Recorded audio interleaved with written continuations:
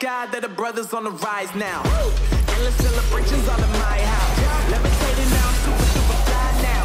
Let them boy, but they see where I reside now. Put the time in while you always yelling time out. As a critic, cause I know I'm coming with it. You was sitting, you were wishing I was handling my business. Now I got the ball like Harry Potter playing Quidditch. And my business is humongous, you would think that happens in. That,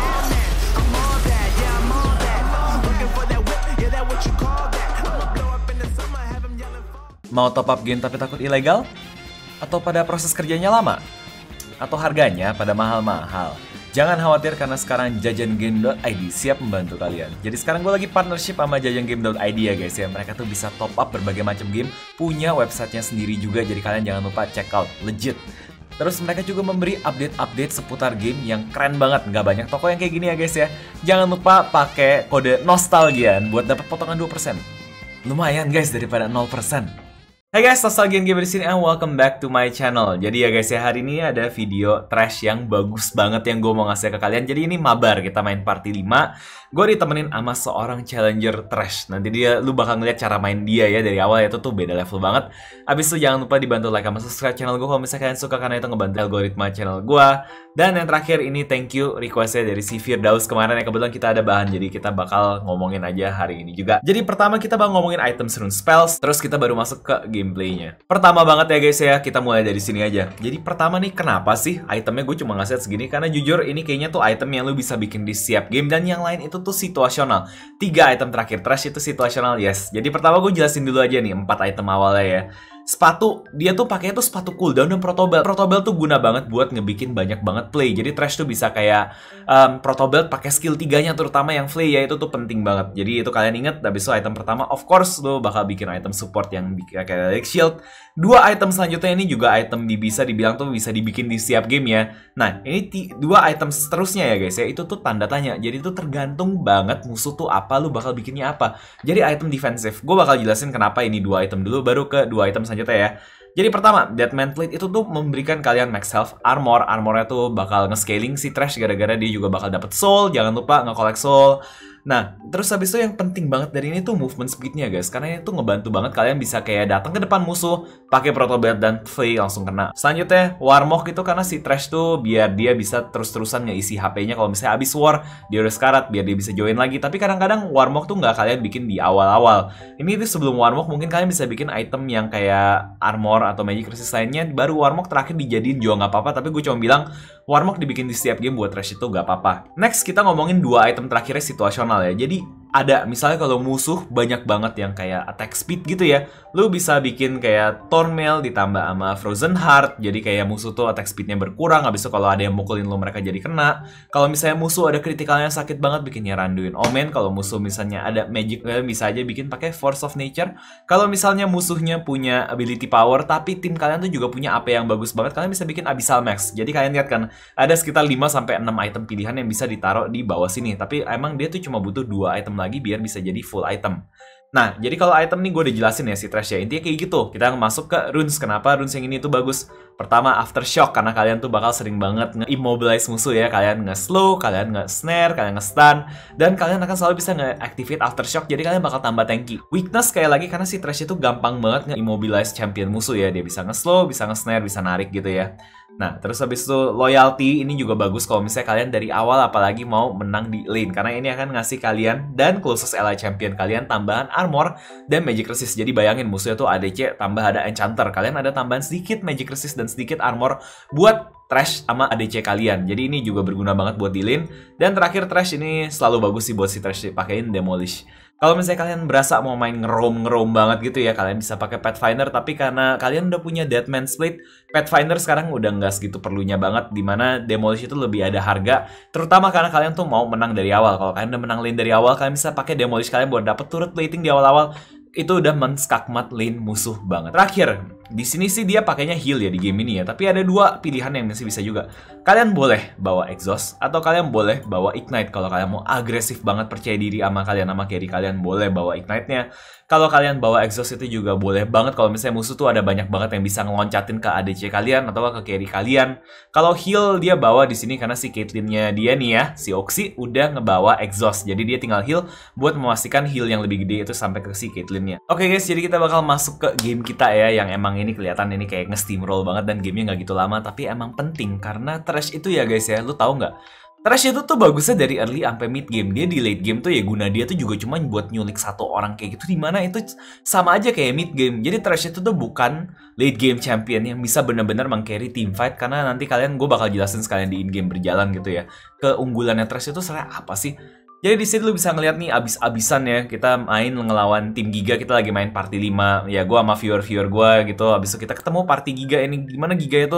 Gue jago-jago gue akuin. Dan kebetulan aja game ini kita berhasil nge-snowball di awal jadinya gamenya tuh lebih gampang buat kita. Kalau nggak mereka biasa isi orang-orangnya kayak jago-jago kok Oke, jadi kita langsung masuk aja ke gamenya ya. Uh, ini kalau nggak salah ranknya kira-kira dia kan teman kita tuh si Trashnya tuh ya Challenger, tapi sisanya sekarang semuanya tuh current lagi Grandmaster semua lo bisa ngeliat. Jadi ini by any means bukan kayak game tier rendah. Ini game di mana orang-orang udah lumayan ngerti cara mainnya juga gitu ya.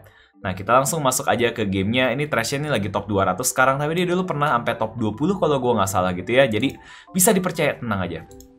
Nah guys, jadi mumpung ini lagi belum ada apa-apa yang terjadi gitu kan Gue bakal jelasin sekali lagi kenapa sih Trash tuh bagusnya tuh di early sampai mid doang. Karena kalau kalian sadar Trash itu tuh toolnya tuh emang banyak banget Dia tuh sebagai support dia lengkap Skill 1 bisa narik dan ngebawa diri dia ke champion musuh. Skill 2 bisa menyelamatkan carry dan ngasih shield.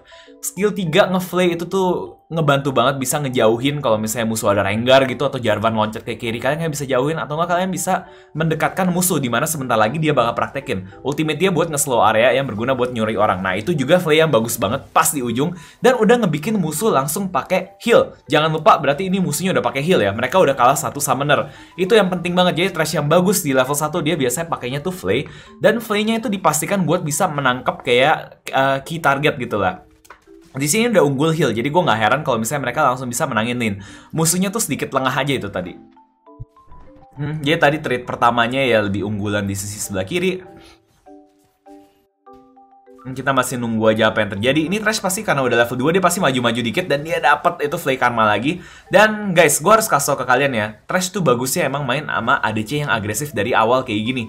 Nah, dia berhasil narik dan dia lagi nunggu nih. Dia nunggu musuh sampai pakai flash flashnya dulu, baru dia kayak mau memastikan dia pakai flay. Jadi dia mau memastikan dua-duanya tuh udah nge-flash dulu gitu ya kalau bisa ya, baru dia pakai flaynya. Itu tadi dia nungguin flaynya. Jadi kalian tuh jangan kecepatan pakai spell. Gue kemarin tuh ada game yang di mana lisin gitu kan. Jadi skill management gitu namanya katanya si Tama kemarin. Jadi kalau kalian tuh cepet-cepet pakai skill itu nggak bagus guys.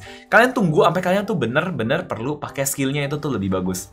Nah, jadi di sini kayaknya mereka akan dapat wave-nya di sini dan mereka kayaknya akan di call gitu aja. Jadi kalau kalian mau ngeliat ya, ini di 1 menit 30 detik yang sangat amat cepat ini ya guys ya, lu bakal bisa ngeliat kalau misalnya goldnya si Trash itu tuh 1300. Menang sama si Karma 300 gold. Dan di mana ini ADC-nya kita lihat ya 1400 dan 1100 di mana ADC tuh udah menang 200 gold lagi. Jadi lu bisa ngelihat kalau misalnya di early game ini Trash sama Caitlyn-nya tuh udah menang. Kenapa gimana cara mereka menangnya? Karena si Trash tuh selalu nge di saat yang tepat dan Caitlyn bisa nge-follow up. Jadi sekali lagi guys, game kalau kalian pakai support ya, kalau kalian bener-bener mau nge-support tanpa damage ya, itu nggak gua saranin banget. Kalau kalian mau main solo queue, gue saranin kalian tuh support itu adalah role yang sangat amat bagus. Tapi kalau misalnya kalian tuh mainnya emang duo, jadi kalian tuh main duo ADC sama support dulu gitu loh guys, serius gue.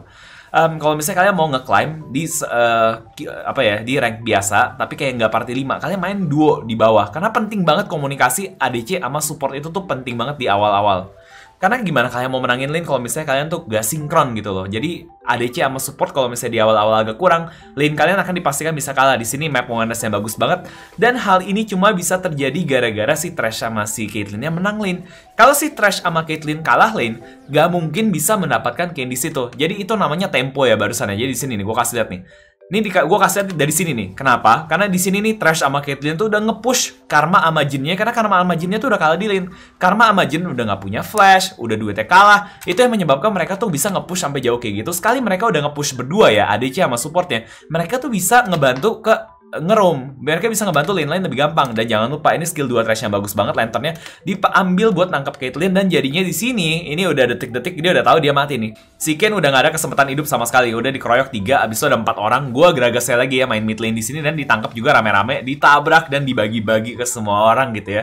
Kita berbagi berbagi kita berbagi kasih sayang anjir. Itu dikasih ke sempat orang semuanya dapat assist dan kill itu pokoknya pertama itu cuma bisa terjadi ya sekali lagi ya karena Trash sama Caitlyn menang lane. Jadi kalau kalian mau bot lane yang bisa langsung kayak menangin gitu ya, salah satunya Trash itu udah pasti. Satunya lagi tuh ADC yang cocok tuh bisa Lucian, bisa Caitlyn, bisa Draven. Pokoknya yang agresif-agresif di awal gitu oke banget dah. Di sini dia dapat lagi flay-nya dia nyari posisi buat mendekat ke si Jin dan udah dapat dan tarikannya kena dan inget ya guys ya, mereka kagak ada flash dan itu bagus banget lihat gak? Jadi kalian kalau main trash kalian harus melihat minimap juga di mana teman kalian harus bisa ngambil lantern. Makanya trash itu juga bagusnya ya dimainin tuh di tier tinggi. Kenapa? Karena orang lebih sering pakai lantern. Lo kalau main trash di tier emerald atau ke bawah atau bahkan diamond ya, orang-orang yang nggak pencet lantern tuh banyak gak? Gue yakin banyak di jawabannya, ya nggak? Banyak gak? Banyak pasti. Jadi tadi tuh Trash tuh bisa nge-setup game tuh yang bagus banget ya. Itu gengnya barusan tuh cantik banget ya, gue kasih deh. Jadi pertama, uh, jadi pertama kayak mulai dari sini nih. Dia udah bakal dapat dapat kalau dia sekali masuk jaraknya si Jin ya. Flay, dia auto attack. Oh nggak dia auto attack, dia pancing mundur. Dia berhasil narik dan dia udah sambil taruh lantern karena kalau kalian lihat si Rivennya tuh udah nungguin di bush. Jadi dia sambil kombonya tuh ya guys ya. Lu udah narik musuh, lu sambil taruh lantern ke belakang. Jadi lantern tuh jauh banget langsung muncul di depan musuhnya kayak gini dan ini jadinya tuh geng yang sempurna jungler kalian nggak perlu punya gap closer kalau misalnya kalian punya trash karena trash bisa bener-bener ngebawa musuhnya tuh ke tengah ke bisa ngebawa jungle kalian ke tengah-tengah musuhnya. Jadi itu play yang barusan tuh juga bagus banget setupnya dari Trash itu kalau kalian sadar itu semuanya tuh playnya dari Trash seorang diri. Mulai dari dia ngeflaynya, mulai dia dari nariknya, mulai dari dia ngangkat jungle-nya. Jadi Trash itu tuh sering emang support yang bagus banget. Cuma kalau di solo ya, kalau kita ngomongin solo ya, gak mesti bagus karena Trash tuh butuh kerja sama temen juga. Dia tuh support yang bener-bener bagus, di mana tuh dia bisa ngebuat timnya tuh bersinar gitu. Dia bisa narik temen dan damage-nya gede. Dia bisa nangkep kayak gini dan temennya tinggal ngedamage. Tapi kalau temen kalian goblok, gak bisa ngefollow up, gak bisa ngambil lantern, sama aja bohong guys. Jadi sekali lagi itu barusan diambil ya dimulai warnya sama Trash ya itu Trash yang menanking semua damage-nya juga dan di sini kayaknya mereka juga bakal menang sama si Kenya itu berarti 3 lawan 2 dia berhasil nge-shield dan nge-heal si Caitlyn juga. 3 lawan 2 di mana itu hampir tiga-tiganya mereka dapat itu karena mereka udah nge-snowball. Dan jangan lupa gimana cara mereka bisa nge-snowball? Karena kerjasama mereka yang bagus banget dari awal. Dan di sini gue bakal kasih lihat kenapa Demolish itu bagus banget. Ya karena di awal-awal Trash sama ADC yang agresif tuh bakal bisa main kayak gini dan mereka dapat plating. Abis mereka recall yang ini gue bakal kasih lihat lagi perbedaan gold mereka sama gold outputnya si dual lane musuh itu gimana? Karena bentar lagi nih mereka harusnya bakal nge-recall.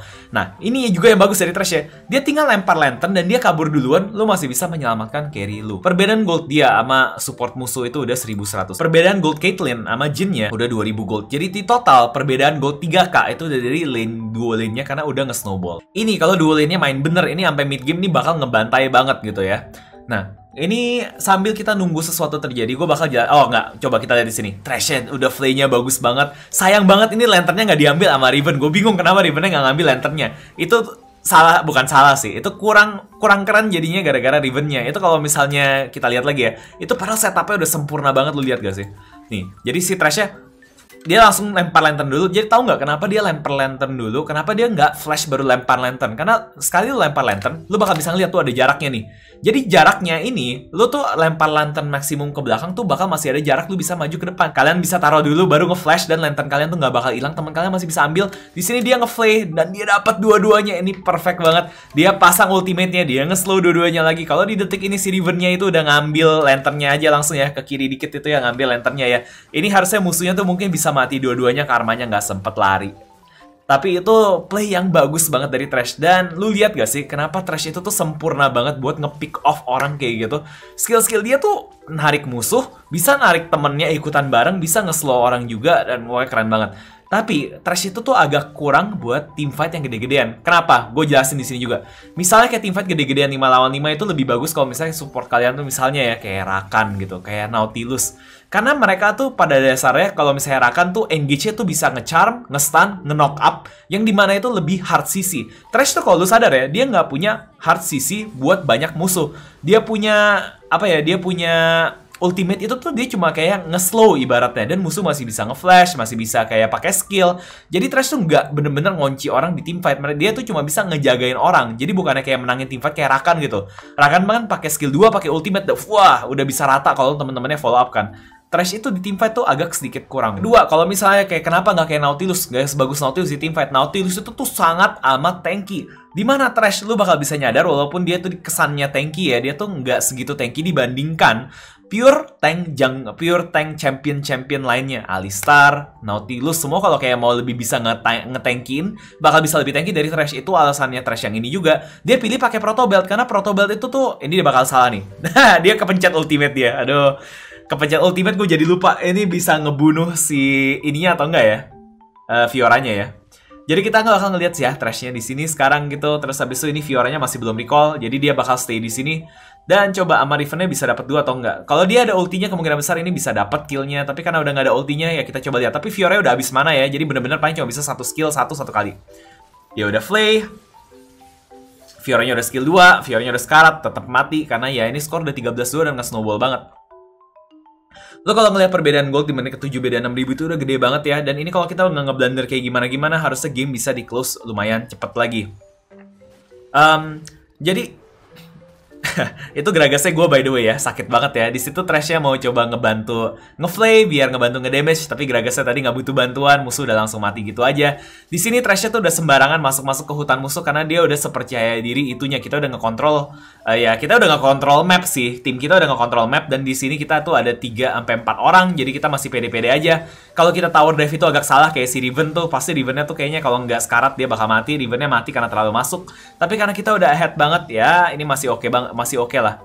Jadi yang itu barusan gue juga nggak bakal hitung tuh itu masuk team fight karena itu tuh cuma kayak 3 lawan 3. Tapi lu bayangin kalau misalnya kayak fight yang beneran 5 lawan 5 ya.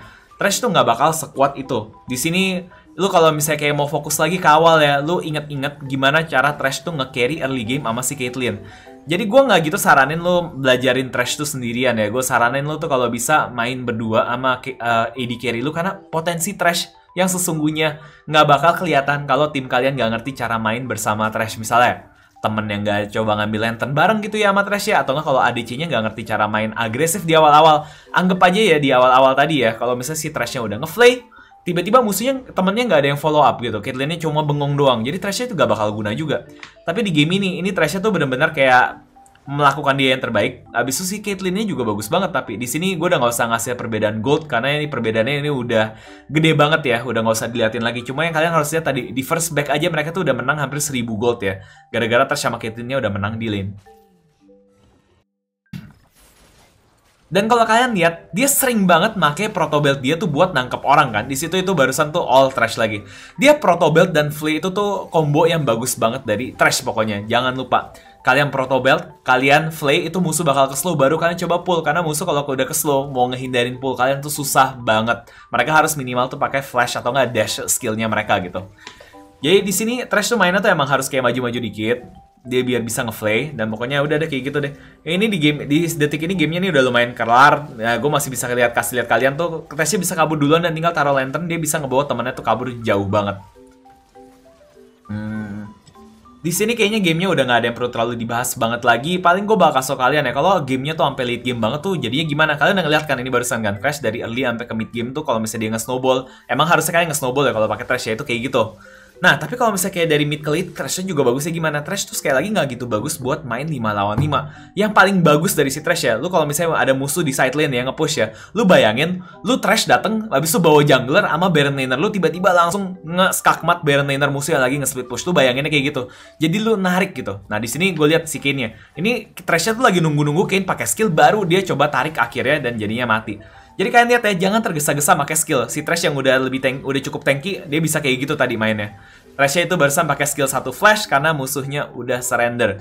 Jadi ini game yang emang kelihatannya tuh lumayan mengenaskan ya. Kita menangnya menang banget. Kita kayaknya lane tuh menang semua terutama tapi dari bot lane. Jadi kalian di sini selain ngelihat si Trashnya, Caitlyn-nya tuh juga mainnya bagus banget karena dari itu Caitlyn-nya tuh bisa nge-follow up. Sekali lagi gue mau ngasih deh. Ini tadi tuh lane tuh udah berakhir di satu setengah menit dan gue bakal ulangin di terakhir ini satu setengah menit pertamanya itu kenapa penting banget kalau misalnya kalian main sebagai duo lane dan kenapa kalau gue bilang kalian kalau main support dan ADC mendingan duo itu karena percaya gue, gue bukannya kayak bilang, wah pengecut lu nggak berani solo. Tapi kan game ini emang game 5 lawan 5 guys. Habis itu apa kalau kalian main duo lane. Kalian anggap ada mid lane satu lawan satu, Baron lane satu lawan satu, ADC sama support tuh kalian anggap jadi satu orang deh. Jadi kayak ade sub gitu. Jadi kayak ade sub satu lawan ade sub satu gitu. Jadi siapa ade sub yang lebih baik mereka yang menang kan. Jadi mau nggak mau kalian harus punya kerjasama yang lebih bagus. Jadi sekali lagi makanya kalau misalnya kalian main solo dan main support itu kalian pasti bakal agak susah banget. Kalau kalian main solo dan kalian main ADC pun itu bakal agak susah karena di awal-awal kalau kalian nggak sinkron sama support kalian ya bisa jadi kalian kehilangan kesempatan kalian tuh bisa nge-snowball di awal kayak duo yang ini. Ke sini gue bakal cuma ngasih lihat kalian lagi di er, di satu setengah menit pertama ini gamenya jalan tuh gimana sih? Jadi nih, Trashnya nih, dia tuh udah naikin skill 3 dulu. Rata-rata trash yang bagus langsung naikin skill 3, langsung dapat auto attack si Jin sampai bikin musuh panik nge-heal. Di sini mereka udah menang satu summoner ya, jangan lupa. Mereka udah menang satu summoner di mana health-nya tuh nggak beda jauh, malah tuh mereka lebih kalah lagi.